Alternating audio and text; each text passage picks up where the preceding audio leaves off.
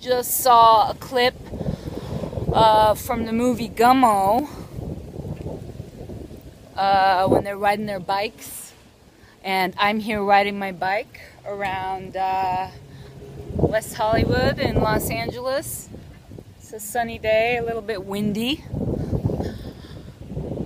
This film, Gummo, is one of my favorite films of all time, and Harmony Korine is one of my favorite directors.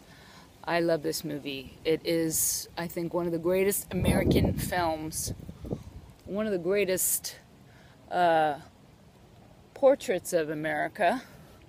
I particularly uh, fancy it.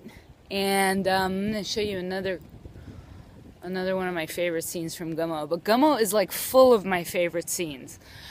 There's so many scenes and characters and moments in that film. But um, Here's the bathtub scene.